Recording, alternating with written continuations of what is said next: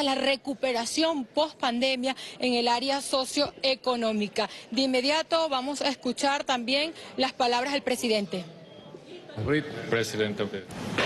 Excelentísimo compañero Cyril Ramaphosa, presidente de la República de Sudáfrica y presidente pro tempore de los BRIT, querido presidente Xi Jinping de la República Popular China, querido presidente, compañero Lula da Silva, presidente de la República Federativa del Brasil, estimado primer ministro de la India, Narendra Modi, estimado presidente Vladimir Putin, quiero saludar con mucho entusiasmo la celebración de esta histórica decimoquinta cumbre del bloque de economías emergentes conformado por Brasil, Rusia, India, China y Sudáfrica, que ha venido sentando bases muy sólidas de cara a la construcción de un nuevo sistema mundial verdaderamente libre, inclusivo, justo y solidario, donde se restituyan los principios del derecho internacional, amenazado por el viejo sistema hegemónico imperial. Venezuela agradece sinceramente la invitación cordial que Sudáfrica, en su condición de presidente pro tempore de los BRICS, nos ha extendido para participar en esta histórica cumbre y contribuir en el diálogo de acercamiento BRICS Plus. Estoy muy complacido de transmitir además la admiración y el reconocimiento de todo el pueblo de Venezuela hacia los pueblos y gobiernos de los BRICS países que han asumido la vanguardia en la construcción de un mundo de paz y de prosperidad económica basado en el respaldo a la diversidad civilizatoria. En ese sentido, es importante y oportuno recordar las palabras del gran Nelson Mandela, pronunciadas aquel 24 de mayo de 1994, en su discurso de tomo de posesión a pocos días de haber asumido la presidencia en la nueva Sudáfrica post-apartheid, cuando hizo un llamado al establecimiento de un nuevo orden mundial de cooperación, justicia, prosperidad y paz, mutuamente beneficiosas para nosotros y para las naciones del mundo, como afirmó Nelson Mandela. Al vernos aquí, junto a ustedes, Venezuela, participando en esta cumbre histórica de los BRIT, viene a mi mente el comandante Hugo Chávez, quien junto a otros líderes del mundo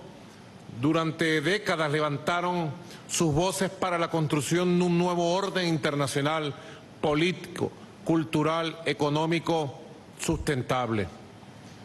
En este contexto que recordamos la también histórica cumbre de los BRIT, UNASUR, realizada el 15 de julio del año 2014 en Brasil. Allí estuvimos, país que para ese año desempeñó la presidencia de este poderoso bloque de economías emergentes y propició dicho encuentro para avanzar en el diseño de una nueva geopolítica, en un nuevo mapa mundial para la cooperación política, financiera, económica y energética principalmente. Hoy estamos convencidos de que ese nuevo orden mundial ya es una realidad y los BRIC desempeñan un rol fundamental de la dinámica geopolítica que ha generado la confianza entre los pueblos y gobiernos de América Latina, el Caribe, África y Asia, con su modelo de desarrollo y sus valores de respeto mutuo. Los BRIT hoy por hoy representan a nivel mundial el 31.7% del Producto Interno Bruto, el 30% del territorio, el 43% de la población y el 18% del comercio internacional. Los países que conforman este bloque controlan el 8.7% de las reservas mundiales de petróleo el 25.2% de las reservas de gas, al tiempo que aportan el 40% de la energía mundial. Representan el 42% del uso de la energía renovable y el 37% del consumo de energía. Definitivamente, la unión es lo que hace la fuerza y esa fuerza unitaria impulsa un nuevo paradigma del relacionamiento global e impulsa una nueva geopolítica mundial del siglo XXI. Queridos presidentes, primeros ministros, sus excelencias, Venezuela se suma a las peticiones de los países con aspiraciones de ingresar a los BRIC, tal como lo expresamos oficialmente en carta en el año 2015 y lo ratificamos recientemente, aportando a este modelo integrador mundial las mayores reservas de petróleo certificados del mundo en nuestro país, entre otras riquezas. Además, nuestro país cuenta con abundantes recursos minerales que le otorgan por encima del 20% de las reservas mundiales de hierro, cobre y oro. Aunado a la existencia de plata, bauxita, coltán, níquel, rodio, titanio, entre otros. Asimismo, tiene una privilegiada posición geográfica al norte de América del Sur. De los 23 aspirantes en el eventual proceso de ampliación de los BRIT, siete de ellos pertenecemos a la Organización de Países Exportadores de Petróleo, que abastece un porcentaje fundamental del mercado mundial. Y entre nosotros agrupamos el 77% de las reservas de petróleo del mundo. El ingreso de estas naciones del OPEP al grupo BRICS le garantizará el manejo del 83% de las reservas probadas de petróleo del mundo, sin mencionar las reservas probadas de los países no OPET y OPET. En lo que respecta a las reservas mundiales de gas de los 23 aspirantes de los BRIC, siete pertenecemos al foro de países exportadores de gas, incluida Rusia, foro que maneja el 72% de las reservas de gas del mundo y abastece el 44% del mercado mundial. La experiencia acumulada por Venezuela en la lucha y resistencia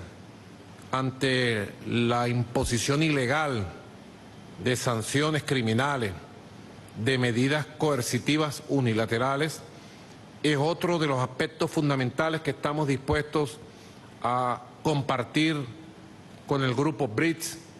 y con todos los amigos de los BRICS. La realidad de los últimos años ha puesto en evidencia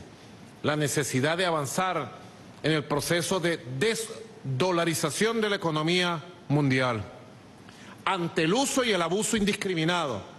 de la moneda estadounidense como mecanismo de guerra económica contra los pueblos libres del mundo.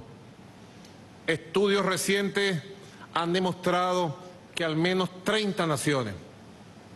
28% de la población mundial, alrededor de 2.178 millones de seres humanos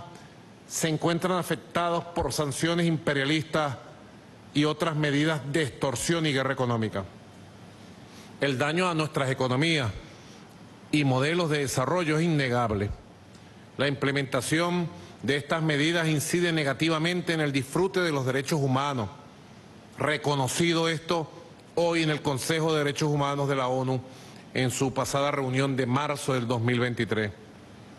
Compañeros presidentes y primeros ministros, desde Venezuela unimos voluntades para la configuración de una nueva arquitectura financiera que permita realizar nuestras transacciones con novedosos medios físicos y digitales y con una amplia canasta de monedas nacionales, así como acceder a nuevas formas de financiamiento que contribuyan a la recuperación y el crecimiento de nuestras economías. En el caso de Venezuela, crecimiento proyectado por encima del 5% en este año 2023 el más alto de la región, de acuerdo a la CEPAL, Comisión Económica para América Latina y el Caribe de Naciones Unidas. Es nuestro deseo, señor presidente, incorporarnos al Consejo de Think Tank de los BRIT para contribuir con nuestra modesta experiencia a contrarrestar los efectos perniciosos de las sanciones de Occidente contra las economías del mundo, así como el desmontaje del sistema de dominación financiera y comercial. Asimismo, asumimos frente a los líderes de los BRICS la responsabilidad de promover el relacionamiento político y económico de la arquitectura BRICS con los principales mecanismos de concertación de cooperación de América Latina y el Caribe. Entre ellos, la Alianza Bolivariana para los Pueblos de Nuestra América, ALBA, y la Comunidad de Estados Latinoamericanos y Caribeños, CELAT, para avanzar en la constitución de bloques regionales, tal como lo avisoramos en la histórica cumbre BRICS-UNASUR del año 2014. La consolidación de estas ambiciosas alianzas requiere de un elevado nivel de conciencia de los pueblos sobre las realidades, fortalezas y capacidades para avanzar unidos. A tales fines proponemos fortalecer la alianza comunicacional a través del reimpulso de la cooperación entre TV BRICS y Telesur, plataforma multimedia y multiestatal latinoamericana y caribeña. Compañeros, excelencias, el BRIT ha sido concebido desde su conformación con una visión inclusive de complementariedad, colocando como núcleo el sistema multilateral como la Organización Mundial de Comercio y su reforma,